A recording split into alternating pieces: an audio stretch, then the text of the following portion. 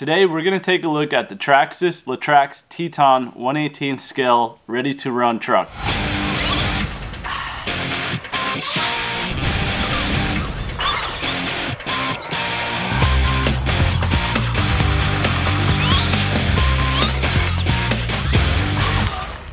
Basically the point of this video is to figure out if the Latrax Teton 118th scale truck is good for a four-year-old or five-year-old. Or um, six-year-old. And then we'll get on if it's good for a six or seven-year-old because Rennen just turned seven. Daddy. So he'll test it out too, and we'll get a good idea on what the age capabilities are.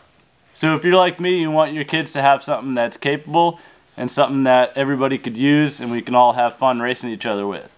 Obviously, if we set him out there with one of the new Bright toys, he's not going to be able to Win. do too much of anything against the Traxxas Slash. But we want him to learn on something that's fun and can go over the jumps and has enough battery life and power uh, and also the same remotes as the Slashes. So he'll get used to this and then graduate up to the Slash probably when he's six years old or so. Or so seven. with that, um, let's go over the truck really quick. There's no need to do an unboxing because there's a lot of really good unboxing videos on YouTube, which I looked at. But essentially, comes in a nice little box, much like you would see at a toy store or a retail store. Kind of what like these things come in. And when you unbox it, you're not getting a lot of parts and pieces. You're getting the remote, and you're getting the charger, And the truck. and then the truck, and inside the truck, what's inside the truck? The batteries. The battery, right. So with that, let's uh, take the body off, and we're gonna kind of do this from the kids' perspective. We're gonna let the kids do the work, and it'll show you uh, whether or not the kids can handle um, a real RC toy or not. All right, so looks like you're ready to take this body off. So hold on, let's let's get a closer look. Okay, so first things first, this is an RC car. It's a real RC car with the Lexan body, and it's held in by pins. So these are usually a challenge point for kids. So four years old, let's see if you can take these pins off. I'll give you a hint. Sometimes it's easier to push with one finger and pull with the other finger. No. So push with one finger and pull with the other. There you go. Okay, so now we got the pins off. Can you take the body off? Good. All right. So, do you guys know where the battery is in here? Yep. And the here. No, it's actually on this side, Yeah. Yeah. right? So to get the battery out, we undo another pin, No, just and then it has a little flap here, and everything's packaged pretty tightly. So it's kind of tough to get out.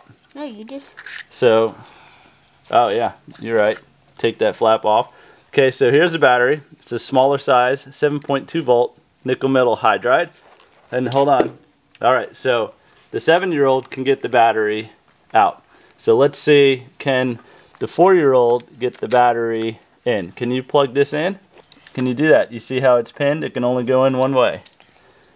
Let's see if you can get it in. But sometimes the guy told us at the RC shop that if you if you keep that plugged in, it will actually waste the battery. That's a good point, Ryan. If you keep it plugged in, it could waste. It could drain the battery. All right, so you got it, but let's see. It doesn't look like it's all the way seated. So let's see if it can go in all the way. See, you have to push and twist. So it's a little hard going in, but you did good. So Rennen, being seven now, just turned seven, can you take the plug off and put it back in all the way? No. It's a little hard, right? Mm-hmm. Okay, so you have to kind of twist and pull at the same time. Let's see how far you can plug it in. Can you plug it in?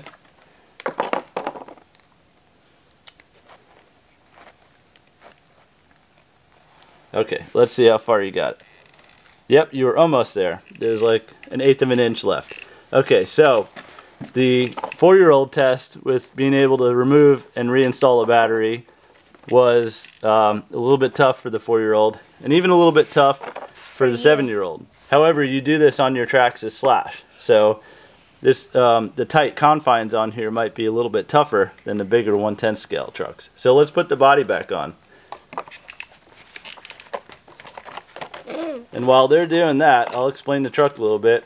So the all-wheel drive platform is something that attracted me to this truck because when you learn how to drive an RC truck, uh, traction is, is really hard to obtain sometimes. The Traxxas slash two-wheel drives we have, they get really loose and they drift around a lot. So little kids basically are on the gas all the time. So it's it's going to be a fight for traction if you don't have all-wheel drive.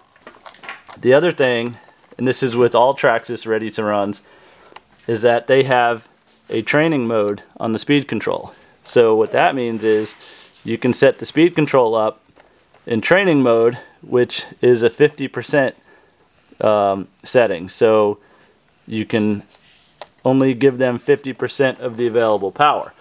That was critical because this little guy is pretty quick if you leave it on full speed. And with half speed, it's just about right for Kallen. So also, real quick, um, the specs are what they are, and you can see those on the Traxxas website. But there's really good suspension travel here. There's a really solid front bumper. These front A-arms are pretty stout. The components look really strong, and you'll see why that'll be important if you hand an RC car over to a four-year-old, because there's a lot of crashing. Right, you guys? Yep. Do a lot of crashing. So the Charger is super simple with these as opposed to the other Traxxas trucks like the Slash that we have. And simple by way of just plugging it in and plugging it into the battery and it does the rest. And it shows you the status lights. We noticed that it took a couple hours for this battery to charge all the way. So that's a little bit different in comparison to the Traxxas Slash nickel metal hydride batteries that take only about 20 to 30 minutes it, it seems. So um, a second battery pack might be handy to have in these. However, uh, we noticed that the battery lasted a really long time in this truck. So we'll see how long that lasts. But for a four-year-old that's just learning, I think it's going to last uh, enough time to where you probably wouldn't need that battery pack, the second battery pack. Yeah. But it's pretty cool looking too, isn't it? I like the body. It's almost like a Bronco, like a new Bronco. So the radios are the same as the Traxxas Slashes, but it says Latrax on it. We put numbers on them so we know whose remote is whose, right, Cal? Mhm. And then this is just the basic steering wheel type. It does have a reverse on it, which is absolutely necessary. The only thing that I would caution to watch out for if you have a little one driving is the steering trim is very easy to adjust. They might grab this knob or hit it accidentally and then the car it adjusts the steering servo and then the car will pull to one side or the other. So we'll show you how to adjust that when we get out to the track. You ready to go out and show us how this does on the track? Mm-hmm. All right. So one of the challenges that you'll find if the user, no, you can leave it. You can leave the body on. Is turning these on. Probably not going to be the easiest thing to do for the little guys or girls. So you just kind of reach in here and give it a little tap on the speed control. Lights up red. Okay, and can you show us how to turn on the remote? I know you know how to turn on the remote. Good. Okay, so bring it straight towards us. Going through some pretty deep grass there. Bring it back to us. Okay. Hold on, I think you might have the steering not right. So this is this is a good thing to show everybody. Okay, I'm not holding the wheel at all and it's veering to the vehicle's left. So what we need to do is adjust the steering trim to the left or right so it tracks towards you straight. So a little bit more.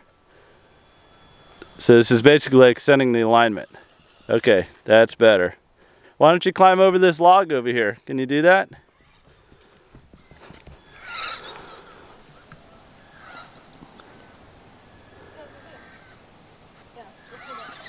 Nice job. So when you put your mind to it, you can do it. You just have to take it easy. Full throttle driving's a little hard, but crawling and, and slower driving seems to be definitely something that's easy for them to do. So you backing up over it? Oh, oh, good job. All right, so my um, my analysis and conclusion on it is for a four-year-old, it might be a little advanced. You might want to stick with some of the store-bought stuff like we showed you for the driveway and everything. But if you have a little guy that can pick up stuff rather quickly, and you have the ability to make a track in the backyard, and your older brother has one and your dad has one, then they can definitely get the hang of it. So um, that's up to you. I'd say it's possible, but they're going to find it maybe a little bit difficult at first. They're definitely going to need some practice with it. Something they can grow into, uh, absolutely, though. All right, so I want to see if Rennen can do it. Can you give it to Rennen? Let him try? All right, so we know the Teton is a little bit advanced, maybe for the four-year-old. So now we have the seven-year-old trying it. It's on full speed, and it's like seriously indestructible for one. So this thing is a blast to drive, is for for an adult at least. So I had fun with it. We'll show you that. Um, so my review of the Teton for a grown-up is uh, this is like a must-have if you just want a little bomber truck to just have fun with in the yard, make some big jumps or take off the skateboard ramp. And one thing I found out is that it's really nose heavy. So kind of like a dirt bike, you just uh, keep on the gas to keep it level in the air. Perfect. So now the seven-year-old is trying it, Rennen. So we'll kind of do, is it right for a seven-year-old? And I can tell you right now that it is very much so right for a seven-year-old because this is what they like to do, is just bomb stuff and flip. And this thing has taken probably about a dozen rolls. You got some donuts going on right now. All-wheel drive donuts are always the best. So going around our little track here, it's handling very well. Take a high speed run around our track. Let's see how you can do. All right, so he's used to his slash two wheel drive. So this, oh, it's hard to keep, it's kind of hard to keep going around the track because it's got such a sharp turning radius that it's, um, oh, landed on his feet. It, it turns really sharp, so keeping speed around the track is a little tough but it's it's so much fun that it doesn't really matter because you could just launch off of jumps like that. And it just handles everything you throw at it. So for a seven-year-old absolutely the uh, Latrax Teton is where it's at I'd say for an adult too if you're just looking to get your kid into RC this is a perfect little intro vehicle for like 130 to 150 bucks to see where they want to end up if they uh, want to end up doing some more serious stuff, you go with the Traxxas Slash, and uh, you still have a really fun little truck for the whole family to play with. Looks like you got a hitchhiker there. Oh, nice. So I'd say its applicable age range is four years old. A four-year-old can definitely do it. They're gonna find a little trouble uh, on the tightness of the steering, I think. It's gonna turn really sharp for them. They're not used to the fine motor skills of keeping the turn consistent. Yeah, it was a good clear. Yeah, you just have to come around outside. Yeah. The so the all-wheel drive aspect of it will make it easy to use for inexperienced drivers or brand new drivers, and the um, fine motor skill stuff is important. So you got to have a really light touch on the steering to get it to go where you want it to go around the track, or else it's kind of out of control, which is the style of this truck, in my opinion.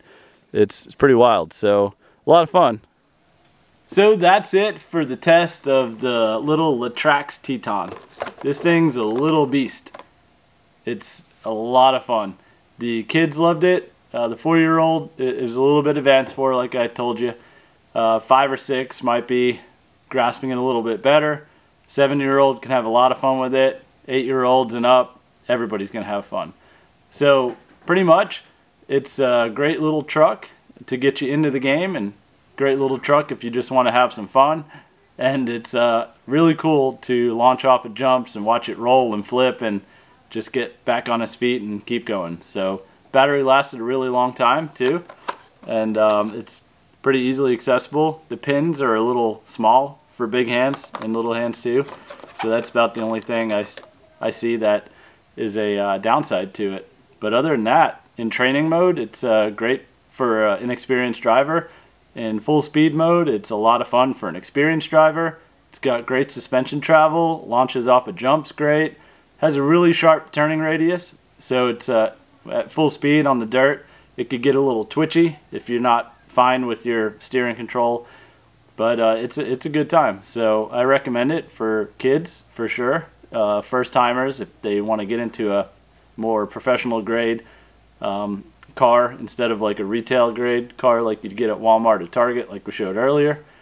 It's something more or less if you want to get more in depth into the RC hobby instead of just buying stuff for your kids that'll eat up double AA, AAA batteries after two hours. So um, it's a good purchase at 125 or 136. I can't remember what I paid for it, but it was well worth it because the kids can grow into it, and I can also hand it to friends that come over that want to race on the track with us with the slashes it'll keep up with the slashes if you have a good driver. So with that, I say it's a good buy. It's perfect for kids, perfect for adults. What more could you really want out of an RC truck? So that's it. Thanks for watching.